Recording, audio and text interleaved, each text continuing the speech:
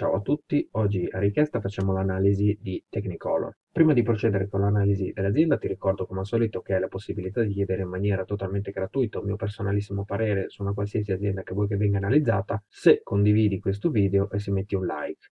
Dopo che l'hai condiviso potrai scrivermi direttamente nei commenti l'azienda su cui vuoi che ti dia un mio parere e se metti un like ovviamente anche alla pagina avrò modo di citarti per informarti una volta pronto. Tornando all'analisi, anzitutto brevissima descrizione di Technicolor, è un'azienda francese che progetta e produce sistemi video ed immagini digitali, se poi vuoi maggiori informazioni ne trovi quante ne vuoi su Google.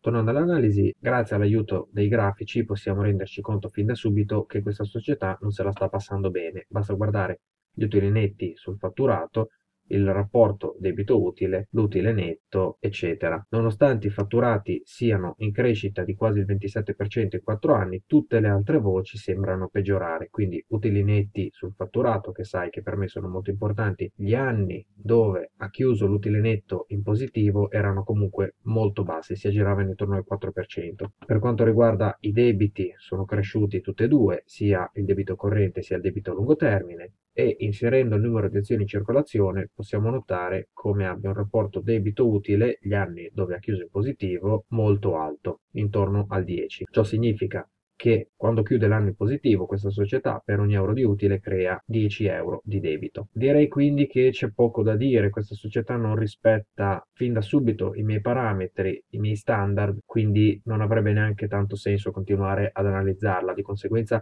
non mi sento di consigliare neanche un prezzo d'acquisto perché proprio io non l'acquisterei mai e poi mai. Ti ricordo che questa analisi è un'opinione mia personale, spero che questo breve video ti sia piaciuto, ti ricordo che se vuoi chiedermi che venga analizzata un'azienda devi prima condividere questo video e mettere un like, mettendo il like alla pagina ti ricordo che posso citarti per quando il video sarà pronto, dopodiché puoi scrivermi nei commenti l'azienda su cui vuoi che ti dia un mio parere. Ti saluto e ti auguro tanti buoni investimenti. Ciao!